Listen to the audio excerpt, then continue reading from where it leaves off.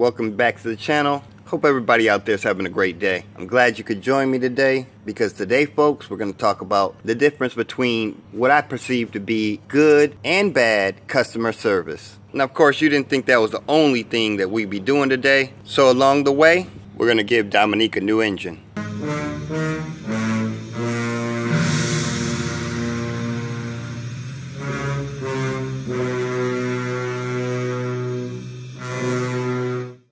About a year ago, almost to the date, Kylie contacted me from bicycleengines.com. So it seems that they had seen the video where I purchased the engine from their company through Amazon. Within that video, I made one or two reference points to what could be done better. And not only did they thank me for my comments, but they were also nice enough to notice that my older cylinder did not have open transfer ports. So guess what they did? Sent me a new cylinder with open transfer ports, new piston, new spark plug, gaskets, C-clips, and other hardware, plus a head. And all of this for free. And that, my folks, is great customer service. So I want to thank them, tell you that this video is brought to you by bicycleengines.com.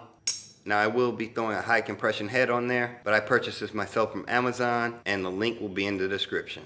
So all you guys got to do, sit back and chill while I remove and tear down this engine.